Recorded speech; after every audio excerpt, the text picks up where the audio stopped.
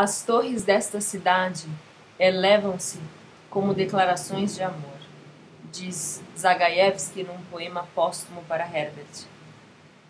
Admiro a altivez régia dos teus poemas, e eu adentro os tácitos fios desta conversa entre poetas.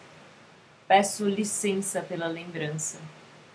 Na Avenida Paulista, não eram as torres, mas as antenas sobre elas e as confusas elevações que se refletiam nos olhos da Gualtieri, que comigo caminhava e dizia: O que são estes braços metálicos que apontam para o céu?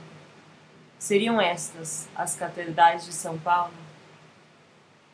Onde não há horizonte, faz-se no céu uma saída. E que saída se faz quando tudo é céu e tudo é mar, onde só há horizonte? Como represar a paisagem por trás dos olhos, retroceder no espaço como as geleiras, rasurar fiordes sobre a pele?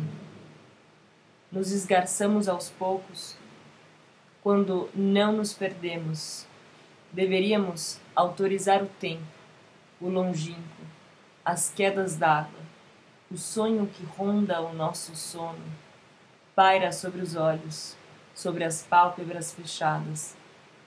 Há tanto vento em ti e tanta estrada à frente, as nuvens não estarão sobre nós para sempre.